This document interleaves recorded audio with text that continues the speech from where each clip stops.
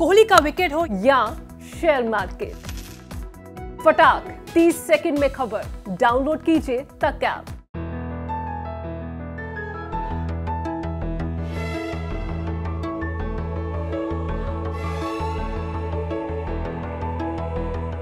दुनिया भर में कोरोना काल कई तरह के बदलावों का गवाह बना है। कामकाज का तरीका इस दौर में बदला है तो लेन देन से लेकर भविष्य की जरूरतों और लोगों की सोच को भी ये दो साल काफ़ी हद तक बदल चुके हैं। ऐसे ही हमारे बीच करीब 60 साल से मौजूद रोबोट्स भी अब अलग अंदाज के साथ, लोगों के साथ जुड़ने लगे हैं। अभी तक निर्देशों के मुताबिक मैकेनिकल मशीन की तरह काम करने वाले रोबोट्स इंसान के ज़्यादा करीब आने लगे हैं। बदलते हालात में रोबोट भी तेज़ी से बेहतर होते जा रहे हैं। सामान खिसकाने के बजाय अब ये होम डिलीवरी के लिए सामान पैक करने लगे हैं।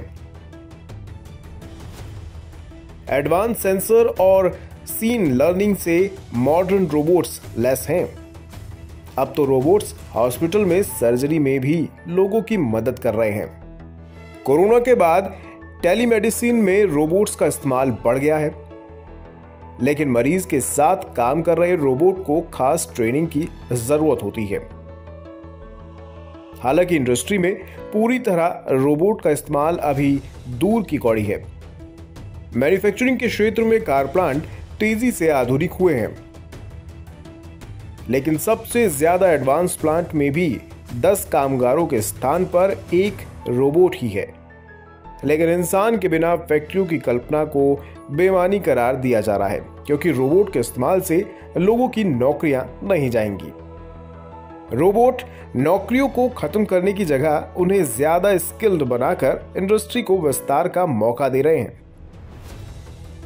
इंटरनेशनल फेडरेशन ऑफ़ रोबोटिक्स के मुताबिक दुनिया में 30 लाख से ज़्यादा इंडस्ट्रियल रोबोट्स हैं। फ़िलहाल तो लाखों रोबोट्स वेयरहाउस में सामान खिसकाने, घर साफ़ रखने और ऑपरेशन में सर्जन की मदद करने का काम ही कर रहे हैं।